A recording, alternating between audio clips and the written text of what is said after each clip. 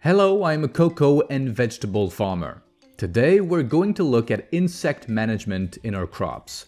The good management of the insects on your farm requires a set of different practices called integrated pest management, including prevention, good detection, and adapted cultural practices such as crop rotation, fighting against biotic and abiotic stresses, by providing fertilizers, but also sufficient water and biostimulants to support crop growth. This is followed by the application of organic or conventional crop protection products while alternating different chemical families and different modes of action. In order to best protect the crop, it is first necessary to correctly identify the pest and its stage of development. This will help find the best way to control it.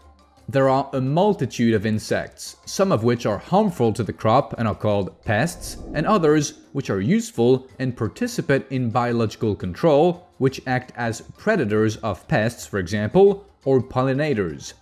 It is therefore important to know how to distinguish them in order to effectively control pests while preserving the beneficiaries. Interestingly enough, alternating different crops avoids always having the same insects and therefore the same pests. In fact, a given crop has specific insects that it will attract. For example, growing maize after growing vegetables helps break the growth cycle of pests associated with vegetable growing.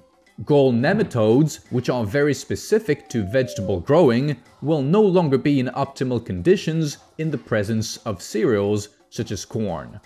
This will reduce the selection pressure of this pest on your farm and crops. On the other hand, avoiding stress for the plant makes it less vulnerable to pest attacks. Fertilization, as well as biostimulants, are levers to support the healthy growth of the plant.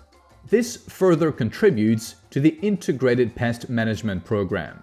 Then, if the pest pressure remains high after the previous tools and techniques have been used, we can consider applying plant protection products registered for the crop in question. Organic products can be used to control these pests. If not, conventional products can be considered.